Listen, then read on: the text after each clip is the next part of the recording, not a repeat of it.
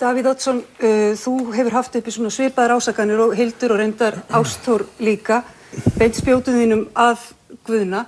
Reyndar hefur kostningabarátuðin snúist kannski meira um Guðna T.H. Jóhannesson heldur en um sjálfan þig. Þú talað meira um hann.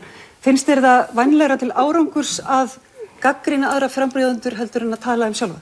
Þetta held ég sé nú ekki rétt mælt hjá ykkur og fjarið því og sennilega hefur nú ekki gaggrinni fallið meira nokkuð mann heldur en mig, býst ég við og róurinn hefur gengið og ég hef verið tífgæður um allt 30 ára aftur í tíman og ekki fundið að því. Þannig að þetta var nú ekki góð byrjun held ég þessi mæling ykkar. En uh, það var hins vegar auðvitað ekki rétt sem að Guðni var að segja. En hefði ekki verið búin að tala um það og hugsa um það að, að fara í frambóð og auðvitað aftur að láta útarpið vita af því. Eða útarpið átt að sé á því að spurja af því til þess að það væri full heilindi. Ég hef hins vegar verið tilbúin til að svara öllum spurningum og ég hef, held ég, kannski verið sá sem hefur rættu um mesta breytingu á þessu ennbætti og líst því. Hvernig þá? Já, ég hef líst því að ég vildi breyta eðri ennbættis að því liti til að ég vildi fara að hugsa heim, ég vildi einbeita mér að því að byggja upp innvíðana hér heima að sjálfsögðu ber að tala máli Íslands út af við og ég hef auðvitað vakið aðtekla því að sennilega hefði ég betri fórsendu til þess heldur en flestir aðri, bæði vegna minna sambanda og fyrir reynslu. En enga síður þá teldi ég að fórsendun ætti að vera heima svona helmingi lengur heldur en hann hefur verið og sinna fólkinu sínu heima, það veitir ekki af. Þú hefur sagt að fólk viti að hverju það gangi með þínu frambóði. Það þekkir þig á valdastóli. Þú hefur gengt ymsum ólíkum hlutverkum. Þú hefur verið borgarstjóri, þú hefur verið fórsættisráður, þú hefur verið sælabanki og nú síðast hefur verið rittstjóri morgumblaðsins. Um, hver þessara umdeldu persóna verður það sem sest í fórsættasætið ef að verður? Ég held nú reyndar að allir sem að er, séu kostnir hinga til að verða umdeldir. Ég menna þeir hafa ekki nema Kristján Eldjátt 1 fengið 65% er meira að segja svo að frú Vigdís fekk 33% og ég þeirra skoðunar reyndar að, að stjórnmálamæður sem er ekki umdeildur það er nú ekki mikil veigur í honum. Og þannig ég hef ekki áhugjur af því og ég held að þessi fórsetar okkar hafa sínt að þeir hafi þegar þeir voru komnir í starfið sérstaklega þeir hafðu góða, mikla góða reynslu þá hefðu, hafðu þeir breyst í það að vera leiðtóður allra þjóðarinnar. En ég tel líka að það sé nýjung hér á landi að menn sem aldrei hafi gengt neinu leiðtóðarhutverki nokkur staðar, nokkur staðar, aldrei farið með fyrirsvar fyrir fólki, aldrei, aldrei hafa tekið ákverður sem varða aðra miklu, að þeir teljist upplæðir til að vera fórsetar, en það getur verið það svo séf og ekkert hefði ég að móti því og myndi bara taka því vel. En valdamenn eru misumdeldir og þú hefur seint verið talin maður málamiðlana sem er hlýtur að vera hluti af þessu ennbætti. Hvernig sér þú sjálfan þig fyrir þér í þessu ennbætti? Ég var að lesa um það að Franklin Roosevelt hefði verið talin umdildasti fórsetið bandaríkjana. Það kom mér mjög á óvar. En ástæðin er sjálfsagt svo að hann brauð gamla reglu um að sitja þessi tvö kjörtímabil. En hann var talin umdildasti fórsetið bandaríkjana. En í okkar hugum margra, til dæmis mín, þá var hann merkir og leittói vegna þess að hann átti góðan þátti því að ljúka heimstyrjöldinni síðari. Davíð, þú svara þessu stundu? Nei, ég ætla að nefna það sem að Andri Snær saði hérna áðan að menn ætti ekki verið að tala um æsseif og þess, þess aftan nokkuð en það er endar þannig að menn er ekki að tala um æsseif og þess aftan nokkuð menn er að tala um trúverðuleika. Það hlýtur að vera, held ég, mjög þýðingamikið fyrir íslenska kjósendur að vita hvort að treysta með í mannum eða hvort að þeir segja ekki satt það hlýtur að vera mjög þýðingar mikið og það eru bara svo mörg dæmi um það að það er ekki allir að segja satt og það eru þetta mjög vond og mjög óheppilegt. Ef þú verður fórsetið, mun þú beitaðir gegn því að stjórnarskráni verði breytt? Davíð? Ég hef nú staðað því að breyta stjórnarskráni meira heldur nokkur annar hér inni, eins og menn vita og sjálfsögð er það þannig að það myndi ekki fórsetið beita sér gegn því að menn færa huglega breytingar á stjórnarskrá en hann getur svo sem haft skoðan á því þegar að verkið líkur fyrir og á sjálfst að hafa það. Þessi spurning er svona, ef þú verður fórseti, mun þú vísa lagafrumvörpum til þjóðaratkvæðagreðslu ef tiltekinn fjöldi kjósenda Óskar þess, jafnvel þó að þú kunnir að vera að sammóla þessum lögum. Davíð? stjórnarskráin gerir ráð fyrir því að fórsetin tæki sjálfur afstöðu. Stjórnarskráin nefnir ekki neina tölur undirskriftarlista en það hefur núverandi fórsetin sá eini sem er beitt hefur ákvæðinu. Hann hefur stundum miða við 20.000 en ekki miða við 55.000 og svo fram til göttunum þannig að það er ekkert að gefa einlít svar við þessu. En hvað myndið þú gera? Ég var að lýsa þessu, fórsetin lítur að taka afstöðu um það var spurt. Við ætlum að ræða núna um fórsetan sem saminningatákn og leiðtói. Það eru flestir sammálum það að fórsetaembættið, að fórsetin þurfa að vera bæði saminningatákn og líka leiðtói í þjóðarinnar. Það er kannski erfitt að skilgreina hvað í því fælst. Uh, fórsetin á að vera leiðtói en það er ekki allir sammálum það hvernig leiðtói hann eigi að vera. Davíð, þú hefur verið leiðtói, leiðtói sjálfstæðismanna, þú varst fórsetisir á þeirra og vart tókin af reynslu í stjórnmálunum en, en líka margar að þeirra harfittuðum deilum og, og, og skilmingum við fyrirvarandi pólitíska anstæðinga e, og það er ljóstað að eins og þú vísaði til áðan, það, þú ert umdeldur maður. Nei, það var ekki ég sem vísaði til þess, þú gerði það. Já, já, þá gerði ég það. En, að fengja svona ræðið um.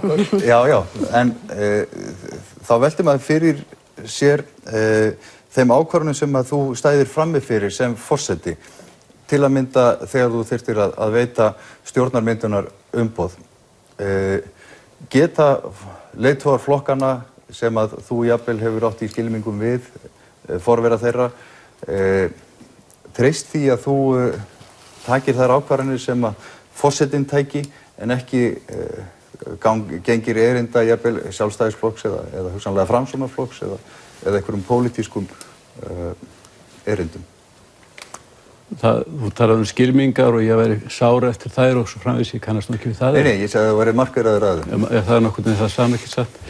En, en það er auðvitað þannig að í nútímanum þá hafum við talað mjög um það að, að við Ólafur Ragnar höfum, höfum pólitísk slegist. Ekki hafði ég neinar ávíkjör af því þó hann veri nýbúin að vera formaður halv áru fyrr að hann myndi beita sér pólitísk akkvæmt mér, hann gerir það aldrei ekki í stjórnarmynduna viðræðum og, hver myndi gera það. Ef, ef þetta væri svona eins og þú ert að, að reyna að lýsa að þá hefði verið mjög erfitt fyrir sjálfstæðarflokkin að, að lifa hér í 70 ár.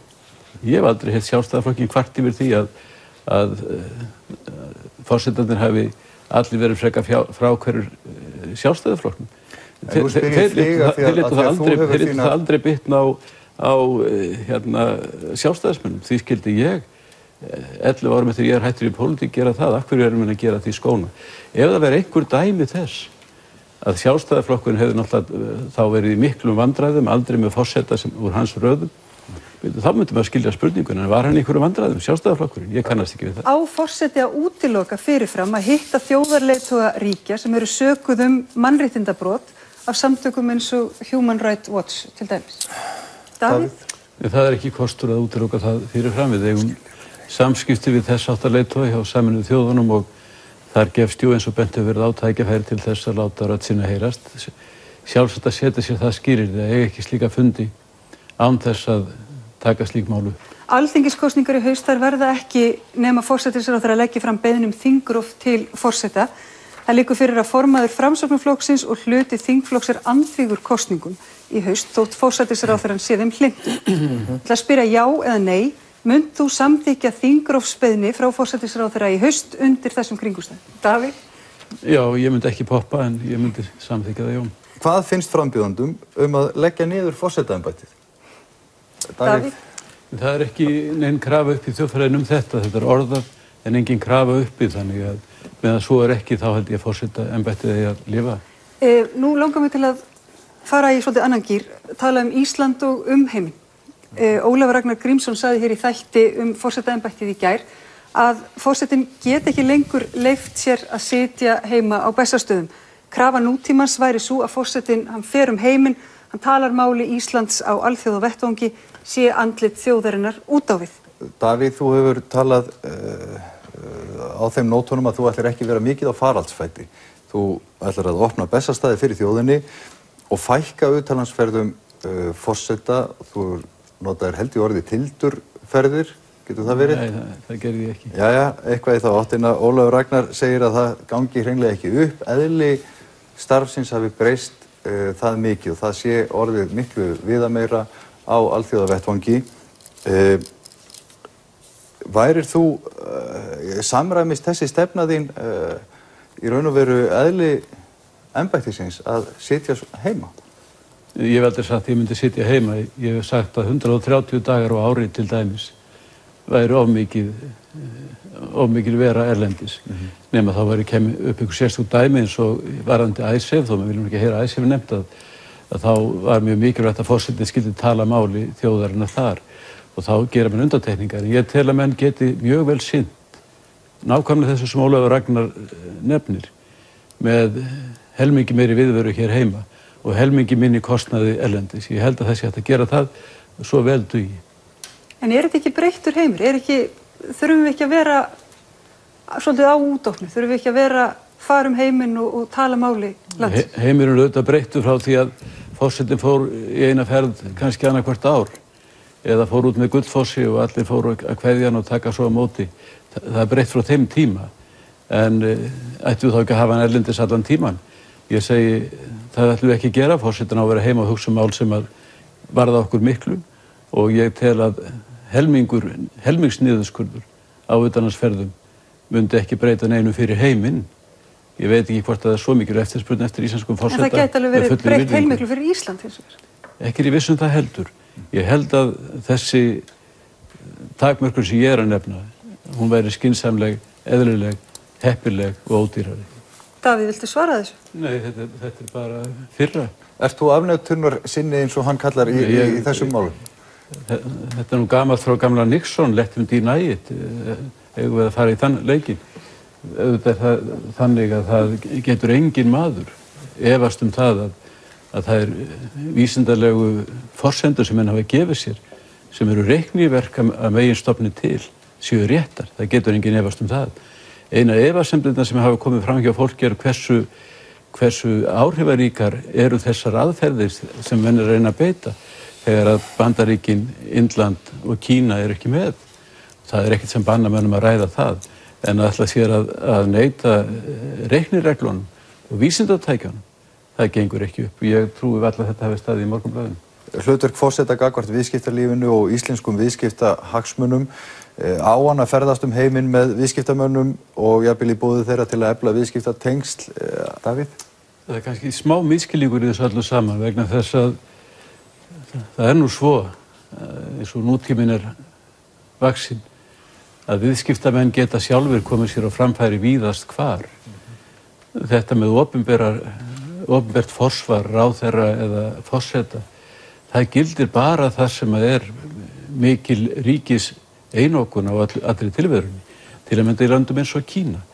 En að öðru jöfnu þá eru íslenskir viðskiptaðilar fullfærir að mynda tengst og sambönd á þess að fórsetin sé í farabróti og þetta hefur svona aðeins farið úr böndurum að mínu viti. Það er ekki bara fórsetin eitt sem er á ferðinni. Ráðherratinn fara mörgum, mörgum sinnum hver uh, til útlanda á ári hverju að tala máli Íslands og, og kynna viðskipta sambönd. En í meginstafnu til hefur áhrif, hafa áhrif fórsetans eða þau eru mest í þessum efnum þar sem erum að ræða ríki það sem að bóðskapurinn kemur að ofan, þannig er það. Þannig að þú myndir ekki eh, vilja, erðir þú fórseti fara til Kína og tala fyrir íslenska viðskiptara? Ég er yfir að segja það að það getur þurft í slíkum já, löndum. Já.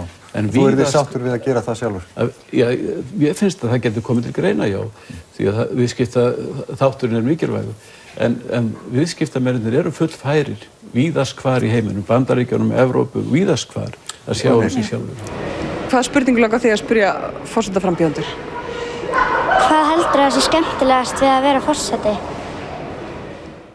Já, það er nú ekki flóknar en þetta. Við ætlum sér að spyrja ykkur, hvað haldi þið að sé skemmtilegast við það að vera fórseti? Þetta er einn spurning fyrir ungu kynsluður. Daví? Ég myndi halda það að geta beitt sínu áhrifandi til þess að, að ekki aðeins þeir háværu fá, fá, fá orði í þjóðfélaginu heldur einnig þeir sem að láværir eru.